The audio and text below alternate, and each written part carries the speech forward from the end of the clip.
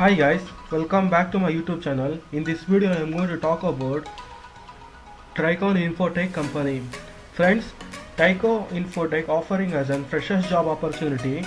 Since this is an informative video, spend at least 3 minutes to watch this till end. So I'll provide this job link in description below. You can apply. Please subscribe, like, do share, subscribe to my YouTube channel to get latest information. I'm going to give a quick overview of Tricon Infotech. Guys, it is a leading IT consultant and a software development service company.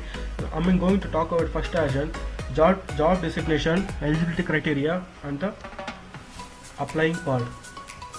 As you can see here, the job designation is an associate software engineer that you are going to working in Bangalore and the cities you will be getting around 5 5 LP 5 lakh to 6.50 LPA guys is a wonderful job that you can apply coming to this eligibility criteria since uh, you must have of degree in BE or BTech or related to CS or IT or E and C. If you must have from graduated recently 2020-21 you must have good ac academic record like 70% throughout. Good PH score also they require. The job requirements is good programming skills you should have and strong analytical and numerical skills good communication skills understand analysis project re re requirements. I'm going to show you how, how to apply for this job.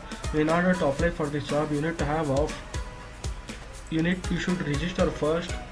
Just go with on your by giving your email and password. If you do not have just go with and sign up here with your google account.